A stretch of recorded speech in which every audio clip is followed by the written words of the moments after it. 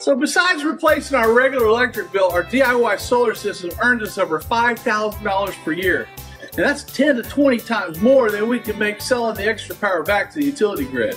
People always ask me what we do with our excess electricity from our DIY solar power system. If we're on an off-grid solar system and we don't sell power back to the utility grid, what do we do with the excess power? Let me show you. During peak summer hours when it's 90 to 100 degrees outside, we turn down the air conditioning and enjoy the extra cold air without any additional cost from the electric bill. When it's really hot outside, we run this air conditioner in our shop to keep it cool.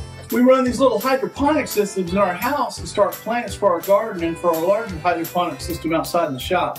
By keeping the shop cool with air conditioning, it allows us to grow up to 30 heads of lettuce each month. And hydroponic lettuce sells for up to $10 per pound in our grocery store. So we use the lettuce with most meals and save up to $300 per month on produce that we have to buy anyway at the store.